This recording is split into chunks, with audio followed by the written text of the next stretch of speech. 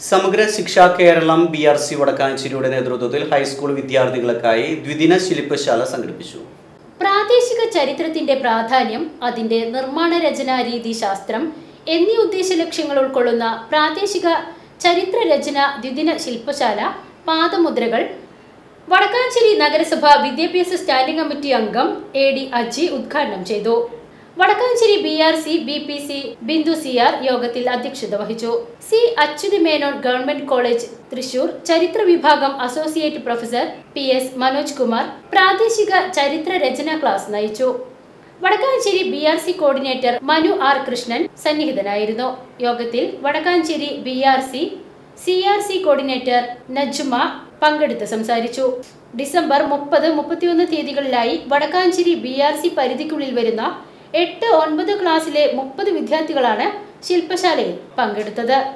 ആദ്യ സെഷനിൽ മാധ്യമപ്രവർത്തകൻ വി മുരളി കുട്ടികൾക്ക് പ്രാദേശിക ചരിത്ര ക്ലാസ് എടുത്തു.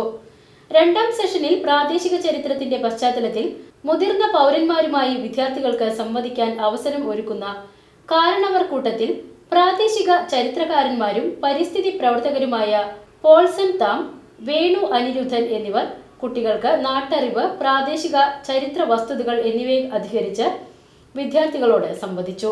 ബോറടി എന്ന് പറയുന്ന ഒരു പേടി ഞങ്ങൾക്ക് ഉണ്ടായിരുന്നില്ല ബോറടിക്ക്. അതിനൊരു അടിയില്ല. ആകെ അടി കിട്ടുന്നത് ടീച്ചർമാരും മാഷന്മാരും പിന്നെ വീട്ടുകാരും ചിലപ്പോൾ നല്ലവരായ നാട്ടുകാരും നമ്മൾ കൈവയ്ക്കും. എന്തിനാണ്? നമ്മൾ എന്തെങ്കിലും വൃത്തികെട്ട പരിപാടി ചെയ്യാണ്. അതിന് ആർക്കും കംപ്ലൈന്റ് ഇല്ല.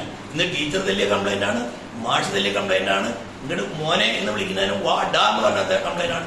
കംപ്ലൈന്റുകളുടെ ഒരു സഹവർഷമാണ്. V C V news Vadakkanchery.